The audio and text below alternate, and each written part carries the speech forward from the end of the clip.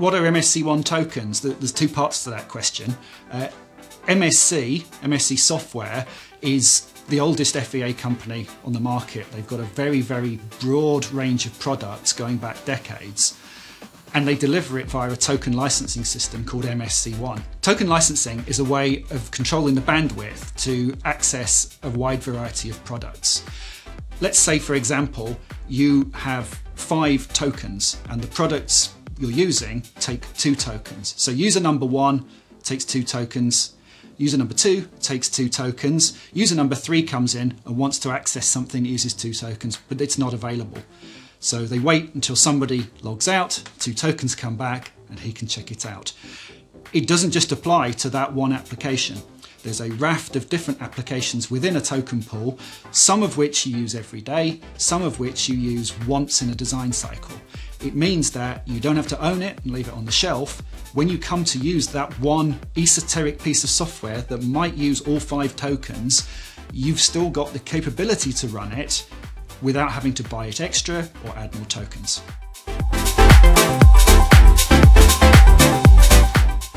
Why choose MSC1? I personally would choose MSC1 because it has the broadest range of best-in-class products included within the portfolio. It has Nastran, it has Adams, it has tools for manufacturing simulation, for data management, for CFD. It covers most of what you might want to simulate and gives you some of the best-in-class best tools for doing that.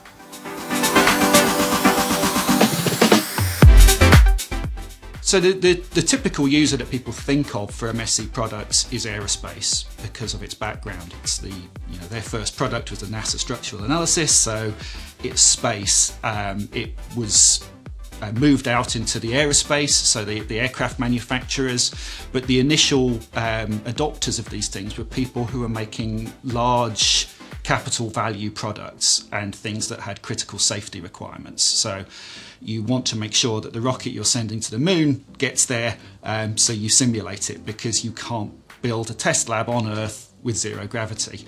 Um, so some of the early adopters in the UK were, were marine companies, Lloyd's Register of Shipping for, for certification of vessels.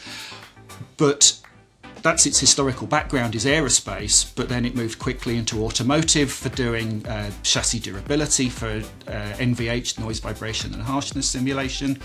But you have people doing uh, ship design with it, and then it's kind of proliferated into other industries such as uh, tool making, um, medical, you name it, people are using it.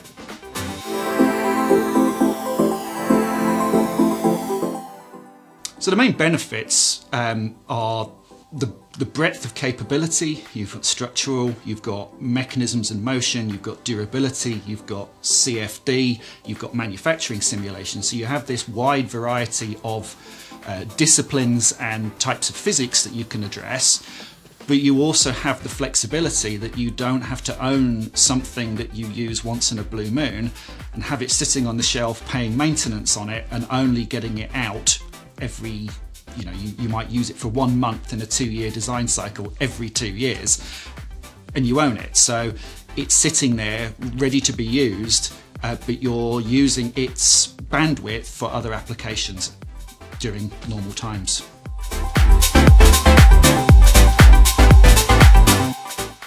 Some of them are ridiculously easy to get started with. They're uh, typically the, the more recent developed products tend to focus more on, on ease of use. Um, some of the, the deeper dive products, some of the more esoteric physics can take a lot longer. So when you take on a license of MSC1, one of the things that's covered under the token system is their e-learning. So instead of having to go off and pay for separate e-learning or separate classroom training, you can use some tokens to log on to their e-learning environment and all of their training material, so all of the the lectures, all of the content, all of the workshops, all of the examples are, are available to you to download and work through um, to build up your knowledge. Um, there's also uh, sort of a kickstart that we use when, when we have a new customer. Um, we, we have a, an engagement before they buy the software where we demonstrate that we can solve their problem, which is it's always a good place to start if you're buying some software, is knowing that we can solve your problem. And we will hand over that worked example. So I will I will do it as a, as a pre-sales demonstration. I will document it. I will give them the model. I will give them the documentation on how I built the model so that they've got that as a, as a kind of read-only record of what it should look like. So when they start doing what they want to do, you can go back and say, well, compare mine with, oh, hang on, that's where I made the mistake. So it's, it's very much a technology transfer we try to do rather than here's a big bag of software, on you go.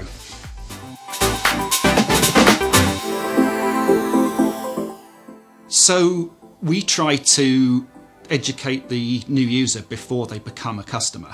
So because we have this, this vast array of capability, um, people customers don't tend to need every last bit of it when they get started. So there's, there's usually a very specific problem or application they're trying to, to do. So we will build um, some working material uh, to demonstrate to the customer uh, or even provide it as part of a trial. If they're going to take a trial of the software before purchase, I don't want to give somebody software and have them fail in an evaluation. So we, we lead them by the hand, we do some ad hoc training, we provide worked examples, and then there's to, to avoid this, um, this sort of drop, uh, a loss of expectation. So people buy the software, and if you step back at that point, they can easily fail. So we keep on top of it. So I find that we do a lot of technical support, um, and the MSC uh, applications all come with, with unlimited technical support through us at, at, Business Transformation,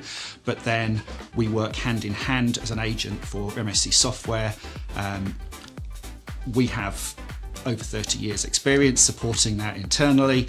Their support team in the UK has, has decades and decades and decades of support, and then that overflows into Europe and worldwide. So there's, there's a massive team behind you, and we're working hard to make sure that you're successful in the early days because from, from, bitter experience I know that if a company takes on these tools and fails early and fails hard it will take a long time before they come back and look at any simulation tool again. It, it gets a reputation in the business for, for not working.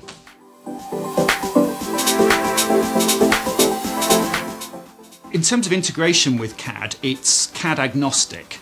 Um, they don't produce their own CAD system, they work with, with other vendors.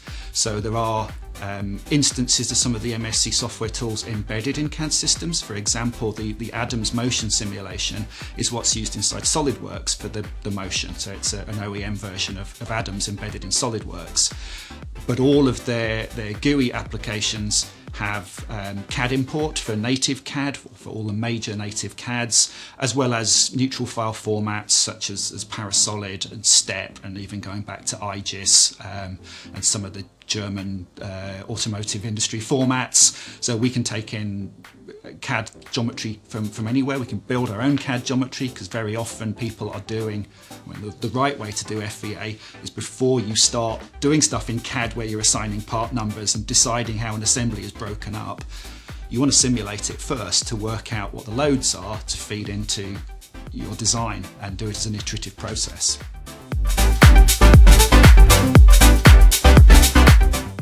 There's, there's very much uh, two classes of customers that, that we find we deal with. There's the customers who very much know what it is they want. So they're, they're, bidding on a work package and they're asked, they've been told to use X, or they've come out of a company where they were using Marc, for example, and they're moving to a new company and they want what they used to have. those are, are straightforward to do.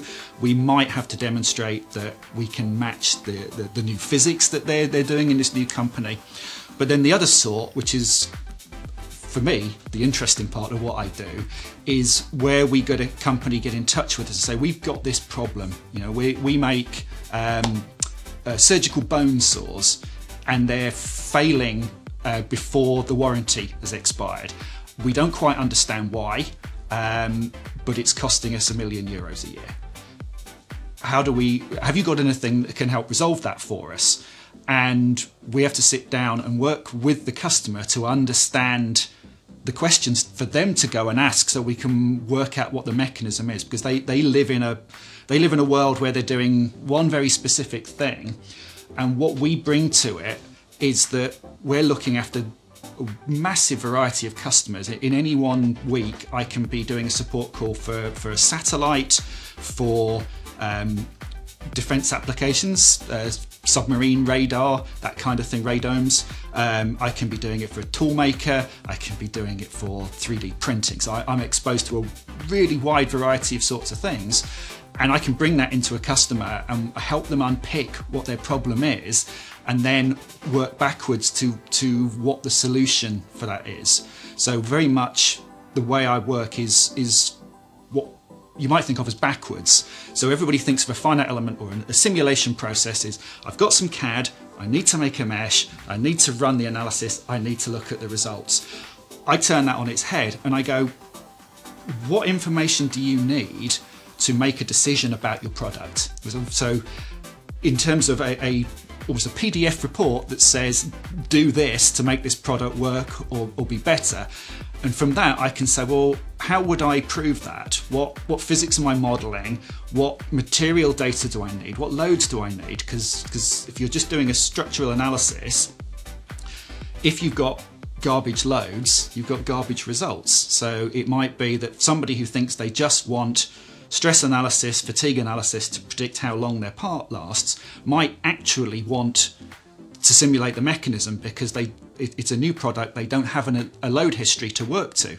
So we can bring in another part of the MSC1 solution like Adams to, to build a, a virtual test bed. So we can simulate a virtual test bed. There's, there's the Adams car toolset um, for modeling cars, trucks, buses, that kind of thing will let you have a completely uh, synthetic environment. You can digitize your test track, bring it into Adams, you can build a virtual car with an artificial intelligence driver, you can drive the car around the track, and it gives you the load history that you need to develop your part. And when your part's finished and you've analyzed it in Nastran, you can take that model back into Adams and run the car around the track again to make sure the decisions you've made there don't affect the loads don't affect the way it handles. So you've, you've, got that kind of closed loop effects going on.